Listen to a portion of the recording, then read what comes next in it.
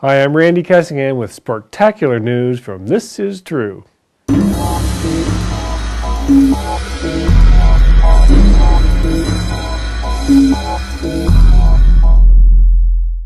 Peter Albert, 52, accepted a plea bargain after an incident in Anchorage, Alaska.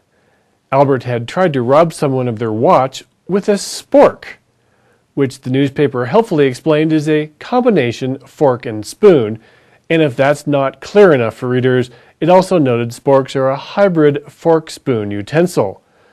Thwarted when he couldn't get the watch band's catch to release, Albert stabbed his victim and then ran off, leaving a number of Kentucky Fried Chicken products at the scene of the crime.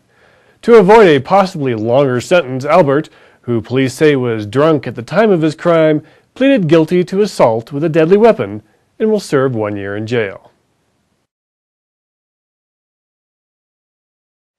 In other news, domestic airlines have been thrown into chaos now that sporks have been declared deadly weapons.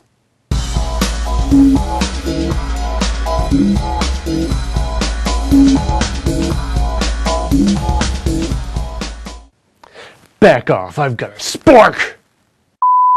Shouldn't KFC's food be considered much more deadly? That'll teach you to call for a second take.